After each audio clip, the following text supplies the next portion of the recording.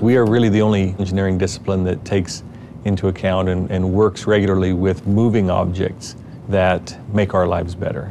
We emphasize fundamental understanding of science and mathematics coupled with a very creative design process.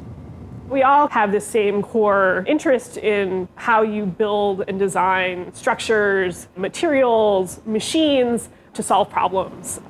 You really have to understand how mechanical engineering fits together with software, with electronics, with sensors, with actuators. All of these things come together to make much more capable systems. What my group does specifically, I like to think of it as something like nano manufacturing. Certainly, manufacturing and materials are a very long tradition in mechanical engineering. And what we've been doing is learning how to assemble nanomaterials in new ways, in highly controlled ways. All of the techniques that are used to make computer chips, we do here on a small scale uh, at Columbia.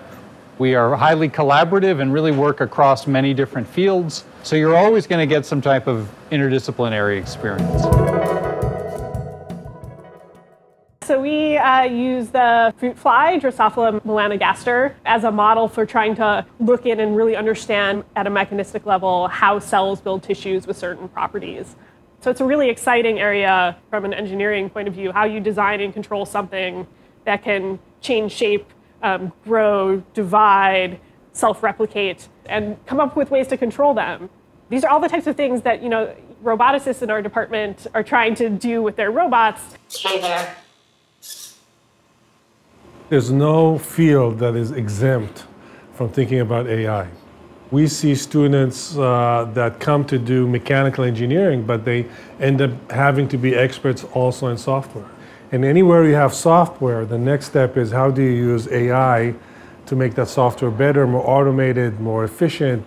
But I think as we look into the future, we need machines to learn on their own, to respond dynamically to new needs.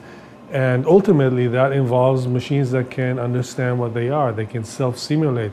They can do what we call this mental time travel, where they can envision themselves in the future.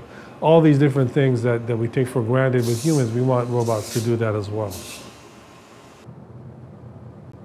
being sustainable has become absolutely critical for the world. And what engineers are bringing to the solution here is the enabling technology, the enabling software, the enabling symphony, I call it, where multiple instruments are playing, but you need to coordinate them. We are providing that enabling glue to make it happen. I think a lot of our students come here because they want to change the world and make it a better place, and uh, it's, it's part of their culture now to want to make the world a better place. But the only way these problems are really going to get solved is with a, a, a real technical solution, the right invention or the breakthrough. And that's what we're trying to inspire them to do. And we want to show them how they can make that happen.